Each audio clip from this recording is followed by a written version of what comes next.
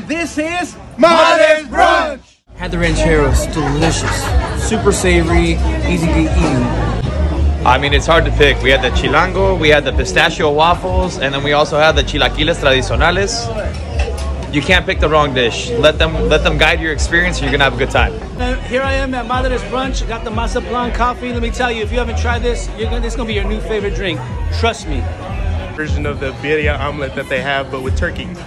Really good, juicy. A toda la gente de Mexipapa, amigos, no esperen más. Tenemos una comida deliciosa, tenemos cafés, lattes, expresos, capuchinos y próximamente vamos a tener mimosas y michelada.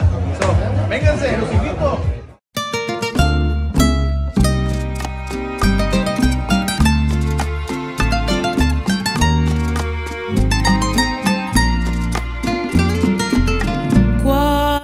Brand new spot that just opened here in Uptown Whittier. Madres Brunch, Mexican cuisine with a twist. Y un cielo entero. Si te acuerdas de mí.